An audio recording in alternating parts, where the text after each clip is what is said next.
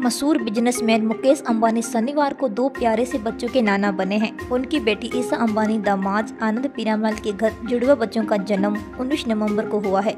वही शादी के तीन साल बाद मम्मी पापा बने ईसा और आनंद पीरामेल ने अपने जुड़वा बच्चों के नाम भी रख दिए हैं। मुकेश अंबानी के दामाद आनंद पिरामेल क्या करते हैं और कितनी संपत्ति के मालिक हैं? बता दें कि ईसा अंबानी के पति आनंद पिरामेल एक बड़े बिजनेसमैन हैं। हालाँकि आनंद कितनी संपत्ति के मालिक है, इसका खुलासा नहीं हुआ है। बता दें कि ईसा और आनंद ने जुड़वा बच्चों के जन्म के बाद सोमवार को दोनों परिवारों ने खुलासा किया कि जुड़वा बच्चों का नाम आद्या और कृष्णा रखा गया है। उन्होंने बच्चों के नाम को शेयर करते हुए लिखा, हमें ये बताते हुए खुशी हो रही है कि हमारे बच्चे ईसा और आनंद को 19 नवंबर 2022 को जुड़वा बच्चों का आशीर्वाद मिला है। ईसा और दोनों बच्चे स्वस्थ है। हमें आद्य कृष्णा और आनंद के लिए उनके जीवन के इस सबसे महत्वपूर्ण चरण में आपका आशीर्वाद और शुभकामनाएँ चाहते हैं। ईसा और आनंद ने अपने बच्चों का नाम भगवान के नाम पर रखा है।